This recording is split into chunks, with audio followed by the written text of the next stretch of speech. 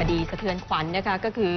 มีคนที่นำน้ำอารมณ์ผสมยาบ้าให้ครับ กับเด็กหญิงวัย 8 ขวบดื่ม หลังจากนั้นก็ข่มขืนนะคะ ตอนนี้ก็จับกลุ่มตัวผู้ต้องหาได้ 2 ราย ฝากขังอยู่ที่ศาลจังหวัดตรังนะคะ แต่ว่าตอนนี้สิคะถูกกดดันจากทั้งสังคมแล้วก็ครอบครัว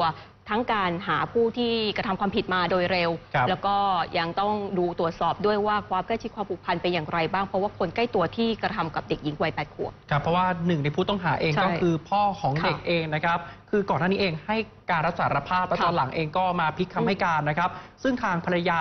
ก็แสดงความเป็นห่วงนะครับ ค่ะว่าสามีเนี่ยอยู่ในเรือนจำนะครับ การเป็นอยู่จะเป็นอย่างไรกันบ้าง ใช่ค่ะ ซึ่งเรื่องนี้เองนะครับทางผู้บัญชาการเรือนจำจังหวัดตรัง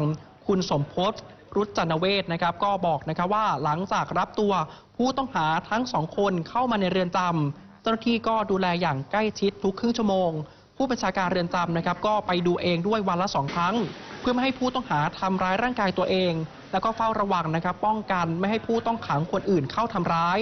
ผู้บัญชาการเรือนจำจังหวัดตรังนะครับ ก็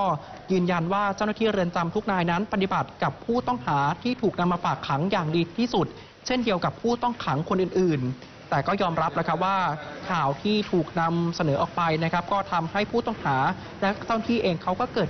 อาการกดดันนะ มีความเครียดขึ้นเหมือนกันในการใช่ทำค่ะ งาน ค่ะก็บอกว่าตอนนี้ถึงขั้นเจ้าหน้าที่นะคะ รวมทั้งผู้บัญชาการเรือนจำต้องเดินเข้าไปดูวันละสองครั้ง เพื่อไม่ให้ผู้ต้องหาทำร้ายร่างกายตนเองค่ะ รวมทั้งผู้ต้องขังรายอื่นๆ จะเข้ามาทำร้ายด้วย โดยยืนยันนะคะว่าตอนนี้เจ้าหน้าที่เรือนจำทุกนาย ปฏิบัติกับผู้ต้องหาที่ถูกนำมาฝากขังอย่างดีที่สุด เช่นเดียวกับผู้ต้องขังรายอื่นๆ แต่ว่าอย่างที่บอกค่ะ พอเกิดความกดดันความเครียด ก็ทำให้